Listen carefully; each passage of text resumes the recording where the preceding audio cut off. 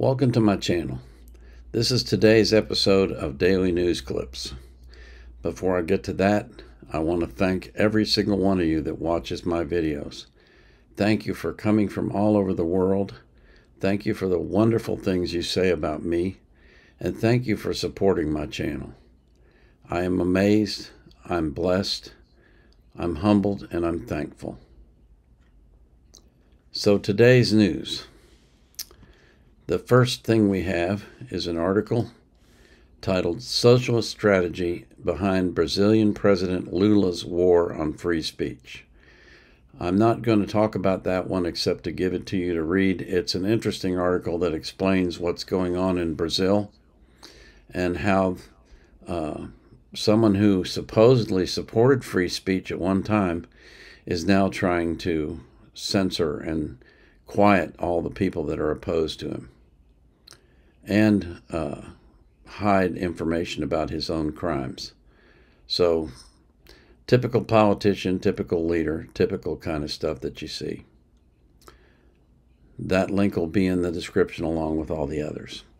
The next article I have is Julian Assange Gave America the Ugly Truth. And I do want to read just a little bit of this to you because I found it interesting. If politicians truly respect the First Amendment, they must defend the freedom of whistleblowers and investigative journalists to deliver the truth to the public, however ugly it may be. WikiLeaks' revelations about U.S. involvement in Afghanistan and Iraq were hard for Americans to process. We learned that civilian casualties had been far higher in Afghanistan than had been officially reported, for instance and that 150 innocent Afghans and Pakistanis were held in Guantanamo Bay for years without charges, despite the government's assurances that only the quote worst of the worst unquote terrorists were detained there. In short, the U.S. broke its own rules on foreign soil time and time again. And then at the bottom, but more importantly, the prosecution of Assange as a publisher the first time the Espionage Act would be used this way, would effectively criminalize the basic work of obtaining and publishing state secrets. It would make a lot of investigative journalism relating to national security close to impossible. This is the what I call the law of unintended consequences. Because you don't like Julian Assange, you want to take him to trial and you want to convict him. But when you do that, it sets a precedent that can be used against other people who are not like Julian Assange, who are merely trying to reveal the truth about what's going on in our country, and you subject them to the same jeopardy. Already, journalists are being punished for exercising their First Amendment rights. In February, Catherine Herridge was held in contempt of court for refusing to disclose her source for a set of stories about a Chinese American scientist who was investigated by the FBI over alleged t- ties to the Chinese military. CBS, Herridge's former employer, said the court decision should be concerning to all Americans who value the role of a free press. And that's the truth. That is a concern. If the prosecution succeeds, he said, of the Assange case, investigative reporting based on classified information will be given a near death blow. And if you think about it, if we can't do investigative reporting on classified information, then the government can classify everything and do anything they want and get away with it because no one will know. There was a time in my life when I I honestly believed that anyone who revealed classified information was a traitor. But as I've grown older and I've begun to realize that it is important that we be allowed to see some of this information, I've begun to understand that it's not always a bad thing when people reveal classified information, especially when it reveals that the government is not even obeying their own rules, or not even obeying their own laws, or worse yet, not obeying the Constitution. So it's something to think about. There's a balance there, I think. The next item I have is a Twitter, uh, excuse me, an X tweet. Do, you, do we still call them tweets or do we call them X's? I don't know. But anyway, I thought this was real interesting. Um, let me get this stopped first of all. Come on now. Okay. Um, this is a Chinese American, and she lives in New Hampshire and she's running for Congress, and she's vehemently opposed to gun control. And I want you to hear what she has to say.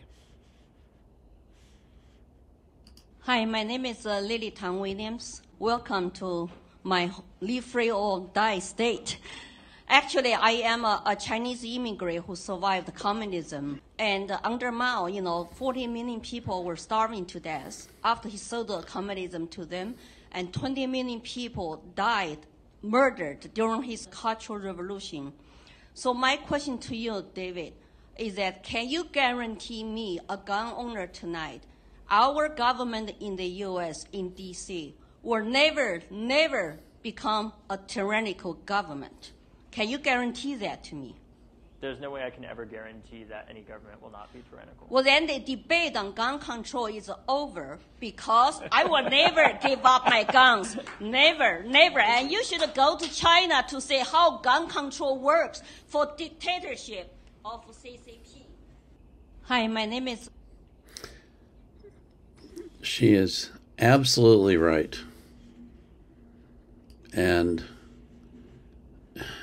you, you can't make an argument against her because she comes from experience.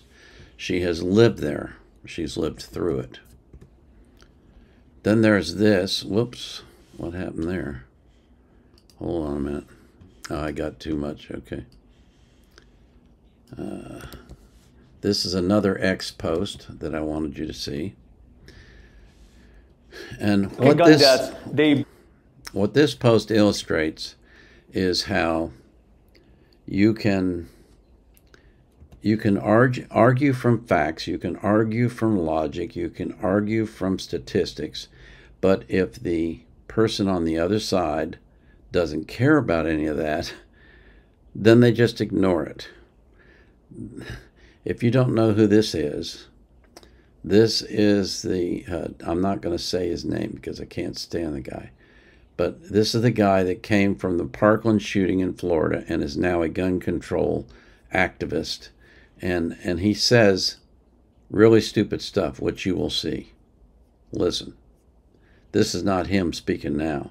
When you look at gun deaths, they broadly go into five different categories suicide, which is nearly two thirds, uh, murders, which have been steadily dropping. Uh, there is a multi decade trend of the steady dropping of the murder rate uh, over time, even as uh, there are more and more guns per people in this country 420 or so million and counting, uh, about 13 million a year being added to that. Then you have, um, you have uh, uh, justified killings um, which have actually kind of been going down as well because when there's less crime, there's less people killing the criminals that are victimizing them. Uh, you have police shootings, which also have been going down roughly the same as the, the crime rates going down because less crime equals less police interactions equals less police shootings. There's also been a lot more police accountability, not nearly enough, and I think David agrees with me on that, but there has been some measures that have reduced the number of, of shootings as well. And then finally, accidents, which have dropped by 90% in the last 40 years um, as a result of safer, uh, better manufacturing of guns and also because of more access to, to training on, on how to properly use the guns. Interestingly enough, most of that has happened during the time that there are fewer and fewer, fewer and fewer states that require any kind of licensing or permits to own guns. So we're seeing that if there was ever an argument that licensing reduced accidents, it, it certainly doesn't. They're reducing on their own.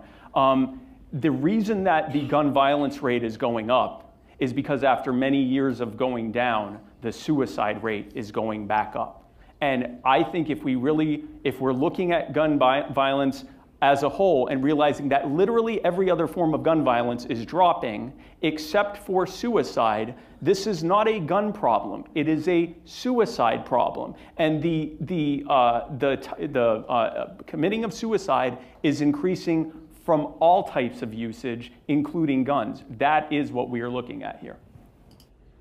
No, I want to point out that when he talked about these trends of of uh, gun violence and murders and so forth, crime going down, That was true probably when he said this, but it's no longer true because with the defund the police movement, crime has been increasing and murders have been increasing. And that won't change until we get out of this insanity of we need less police. That's just a stupid, stupid argument. But anyway, let's continue listening. All right, as a follow up question, um, why does the U.S. have this problem when other developed nations do not? One minute response, David. It's the guns. Hate to break it to you guys. I mean, it's the guns. It's just the guns. Now listen to what he says next. You want to talk about you want to talk about graphs? I, I wish I had my own printout of a graph of the you know. I wish I had some facts, but I don't. I'll let you watch the rest of that yourself. It's just I can't stand that guy. Yeah, whatever. Okay. The last item that I have on the news for today is something that uh, makes me very sad. But I have to show it to you. I don't have any choice. Navy torpedoes embarrassing post showing commanding officer, commanding officer firing rifle with backward and covered scope. Seriously. Look at the picture. If you look at the picture, you can see that his scope is mounted on the rifle backwards and the scope covers, the lens covers are still on. So there's no way that he could see anything through that scope. And in fact, he's not seeing anything through it. He's just firing the gun aimlessly out into the water. Oh, God. The Navy posted this picture. And it was rightly and roundly ridiculed. You can read the article. There's plenty of mockery going on, not only from civilians, but from the other service branches. The National Guard jumped in, the Marines jumped in, and they're all showing how stupid the Navy is.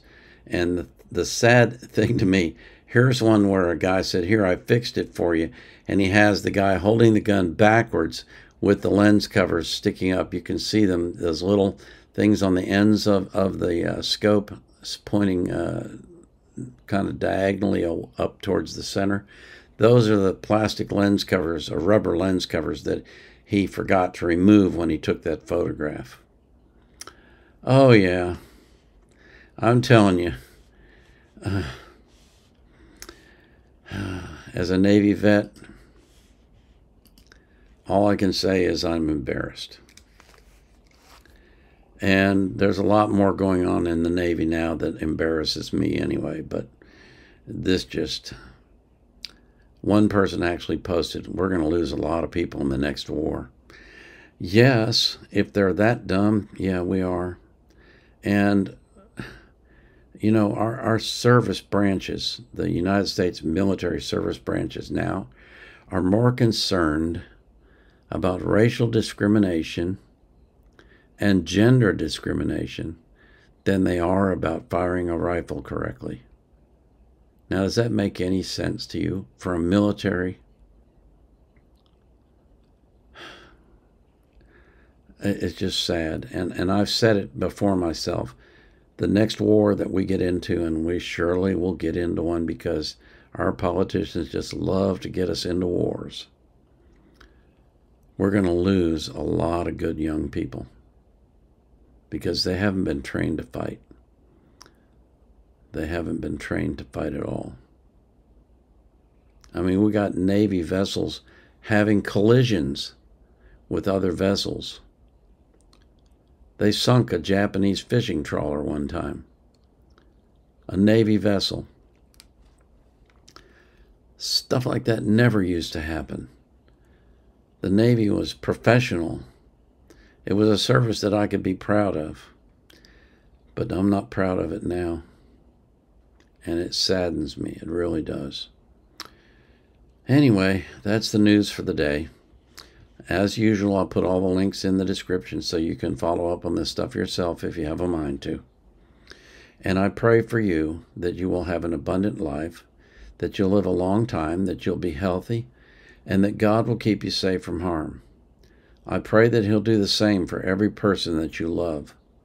And I also pray that you will be anxious for nothing, but in all things, through prayer and supplication with thanksgiving, you will make your requests known to God, and the peace that passes all understanding will keep your heart and mind in Christ Jesus. This is the Vietnam Era Vet out.